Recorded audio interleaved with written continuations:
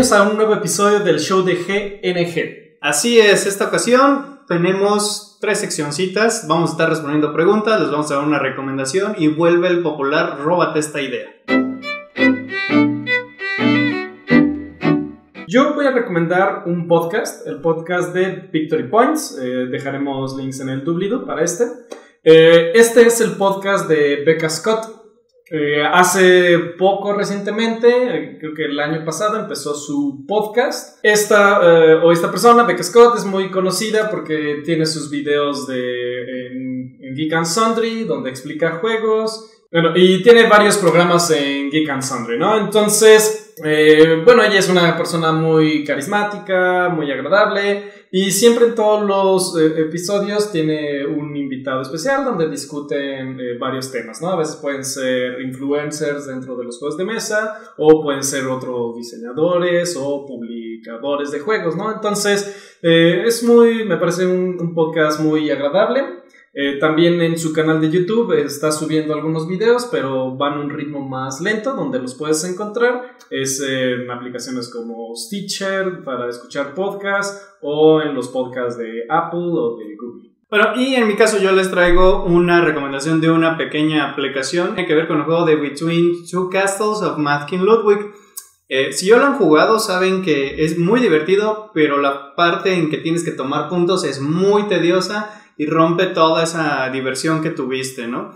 Entonces, eh, esta, esta aplicación es independiente, no tiene nada que ver con Stone Meyer Games y es de Mad King Stewards. ¿okay? Lo que hace esta aplicación es te permite escanear el castillo que creaste, pones unas cuantas aclaraciones e inmediatamente te da el puntaje reduciendo, pues ahora sí que a, a segundos lo que tomaría minutos, ¿no? Eh, lamentablemente esta aplicación nada más ahorita está para iPhone, pero pues si tú tienes el juego y alguno de tus amigos del grupo de juego tiene el iPhone, pues ya, nada más la tienen que conseguir. Es, es, tengo que aclarar que esta aplicación sí cuesta, pero creo que vale la pena por el tiempo que te ahorra y lo funcional y práctica que es. Y de hecho hay una pregunta que la han estado repitiendo varias veces. Sí, ya van un, un, par de veces o un poquito más que nos la hacen. Insoto pregunta, ¿cómo fue que llegaron a este mundillo de los juegos de mesa? Luis pregunta, ¿qué juego fue el que los adentró en el hobby?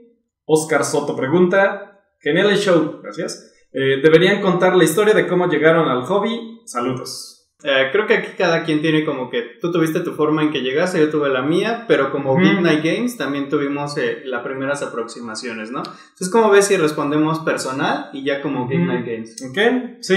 Eh, yo personalmente, bueno, desde siempre, desde, sí, desde que, no sé, ni siquiera recuerdo bien, pero siempre, por ejemplo, yo jugaba mucho rol, o los juegos de rol siempre han sido como parte de, de mi vida, ¿no? no tanto así los juegos de mesa. O sea, sí jugaba Risk y algún otro, ¿no? Fue hasta el 2010, que fue, me acuerdo bien, fue en la feria del libro en Guadalajara, que en ese entonces Devil ponía su puesto de juegos ahí en la feria del libro, y me decidí por comprar Catán. De hecho, estaba entre Catán, Carcassonne, agarré Catán, lo compré, y ya, así empezó, ¿no? Al poco tiempo eh, me compré el el Ticket to Ride y el Munchkin, ¿no? Esos fueron con los que yo empecé.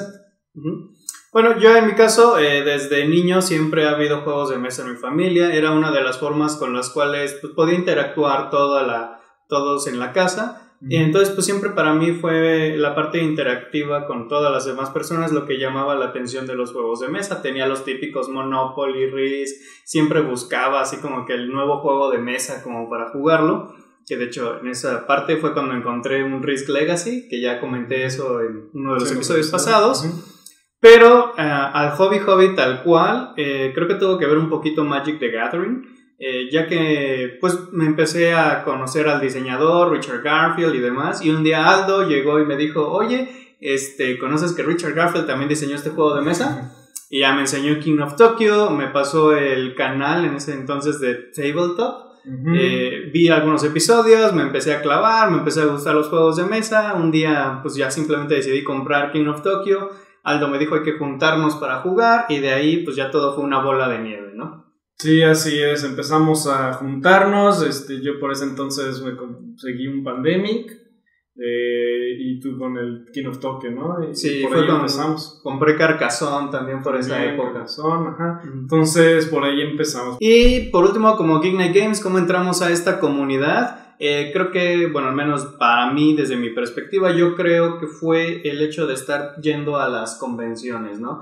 Estar empezando a conocer a los diseñadores de aquí en México, tener la necesidad, pues, de, de conocer un poco más del hobby, porque, pues, vas a ir a entrevistar personas, vas a ir a platicar con los que se están moviendo en todo este mundo. Entonces, creo que esa fue como que la, el parteaguas del canal. No sé tú qué piensas. Sí, sí, así es. Empezamos a ir a los torneos de, de beer, donde había ya más tiendas. eh, porque pues nosotros estando acá en Celaya, pues estamos algo alejados de la comunidad, ¿no? O sea, si, eh, aunque conseguir juegos sea fácil, digamos, ya por internet, si quieres convivir con más personas, si quieres convivir con diseñadores, pues estos eventos para nosotros fueron, fueron muy buenos, ¿no? Muy buenos para conocer a mucha gente. Conocimos allá a los de Punch. Entonces eh, empezamos a conocer ya también más, más personas dentro de este, de este pasatiempo, ¿no? Y pues, la verdad recomendamos ampliamente si tienes la oportunidad de ir a uno de estos eventos, o sea, no solo te lo vas a pasar muy bien, sino además vas a conocer a gente muy agradable.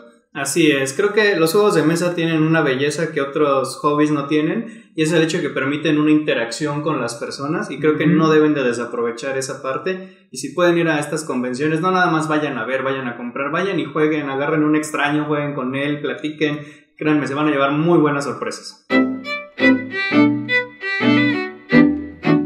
Y bueno, entonces regresamos con Róbate esta idea, donde vamos a proponer una o vamos a esquematizar un sistema, una mecánica, para que cualquiera pueda agarrar la idea y, y desarrollarla, ¿no? Bueno, eh, este juego se me había ocurrido originalmente como crear películas y demás, pero dije, no, ¿por qué no hacerlo un poquito más mexicano, más, eh, más, a- más aquí a, a nuestra sociedad? Y se me ocurrió un estilo de guerra de changarros, ¿no? Eh, ya sabes, la típica callecita donde se empieza a poner un changarrito y de repente hay otro y otro y otro y otro hasta que se convierte como en un tianguis. Entonces, eh, el principal punto de todo esto es crear un sistema económico donde tú vas a tener que estar adaptando tu changarro, pues para cumplir con ciertas normas, ¿no? De repente, mientras más tipos de mercancías se vendan en los changarros, es decir, mientras más se repita uno, pues menos popular es y menos ganancia produce, ¿no? Como por ejemplo, o sea, te imaginas, como qué productos te imaginas en el changarro. Mm, Pues imagínate el nue- la nueva fritanga, ¿no? Así como los dorilocos, y ahorita ah, se Ah, pusieron de moda y todo el mundo, al principio, pues si eres el primero en innovar, ah, empiezas a vender, pero conforme te van imitando, pues el precio va decayendo, ¿no? Entonces que haya como una, un sistema de económico en el cual la, Ajá, la más produces, menos valor tiene Menos el producto. valor, así Mm, es. algo- alguna mecánica estaba pensando justamente similar.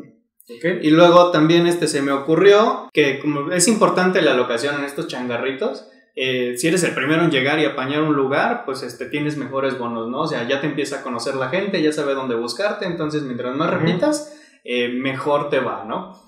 Eh, entonces eso también así como que la estrategia de, no, es que ese ya se ha puesto varias veces ahí, ahora voy a ir a quitarle el puesto, ¿no? ¿Y cómo, cómo te imaginas las mecánicas? O sea, tú en tu turno, ¿qué es lo que harías? turno me imagino como que hay varias secciones, ¿no? Está la parte donde tienes que escoger el lugar donde te vas a poner en el día, ¿no? O en la semana, se me ocurre así que sea... O sea, te- La se- ronda. sería como un mapa, digamos. De hecho, hasta lo imagino así larguito y con la calle ahí en medio y varios lugares. Eh, entonces, lo primero que haces es, pues, en torno al jugador, eh, escoges dónde te vas a poner. Después está el mercado acá, donde tienes que comprar algunas cosas para poder venderlas. O sea, cada, cada ronda se dividía como en fases. Así es, sería la fase de colocación, la fase de compra en el mercado, la fase de oferta, donde pones tus productos, y la fase de venta. Ok. ¿Y ves, ves el azar como una parte importante o, o lo relegarías? Como- De hecho, había pensado en alguna mecánica como para el azar, que es así como las noticias, ¿no? Diciendo como las típicas noticias mexicanas de ahora el refresco este, produce botulismo o no sé, cualquier cosa, y que nadie se lo espere y de repente, chin, pues todo lo que vendí tenía refresco, tenía estas cosas, entonces pues empiezas a tener que, que batallar con eso, ¿no? O sea, puede haber ciertas como materias primas, digamos, que sirvan para tus productos, tal vez. Así es. Y que diferentes, o sea, y, y estos productos, como ves, sería como tal vez un mazo de cartas que entonces robas y ahora produzco esto, o sería una oferta abierta. Podría, se me ocurre que es una oferta abierta, pero en vez de cartas a lo mejor fichitas, ¿no? Y van poniéndose ahí, tú la vas comprando y demás. Ok, ¿y cómo distinguirías que tú estás ofreciendo eso en tu changarro? O sea, tomarías esa ficha y digamos va a tu tablero o a tu área de juego. Sí, cada quien tendría como que su tablerito de juego donde tienes tus productos, donde tienes las materias primas y algunos bonos y cartitas por ahí que pudieras obtener de alguna otra forma ok, ¿alguna otra idea que hayas pensado sobre esta guerra de changarros? No, prácticamente mi énfasis de eso era el sistema económico, ¿no? Estar checando ahí de, es que ahorita me conviene comprar esto porque si produzco los dorilocos me va a ir muy bien y ya, si no, como que ya no lo quiero vender porque ya va bajando. Ya, no se venden. Y también cuidando el lugar donde te pones, ¿no? Así de, ah, es que ya me puse aquí, ya mi clientela ya sabe pero pues a lo mejor te ganan y tienes que moverte a otro lado. Incluso sería algo, incluiría algo de teoría de juegos, ¿no? De, de dilema del prisionero. O, o, es muy común de que, por ejemplo, sí, si se pone un negocio, se ponga otro negocio para quitarle clientes a ese otro negocio, ¿no? Y entonces sucede que, que, bueno, ahora tú te tienes que acercar para quitarle los clientes a él. Y entonces por eso suele haber, por ejemplo, como en calles, donde hay muchos de un negocio, ¿no? Muchas barberías. Sí, 50 puestos de tortas y todo lo Algo así me lo imaginaba. O sea, es crear esa sensación de que pues en un espacio chiquito estás compitiendo con varios changarritos ahí para sacar la mejor ganancia. Ok, pues ahí está la idea. ¿Qué tal les parece? Coméntenos qué otras mecánicas se le ocurren para este juego. Si les gusta, pues róbensela, ya saben. Y pues bueno, con eso cerramos el episodio en esta ocasión. Esperemos les haya gustado. Recuerden, escriban todos los comentarios, preguntas que tengan, que les gustaría ver. Acuérdense que este programa lo hacemos junto con ustedes. Así es, pues muchas gracias por seguirnos y no se olviden también de pues, seguirnos en las redes sociales. Y nos estamos viendo hasta la próxima. Hasta luego.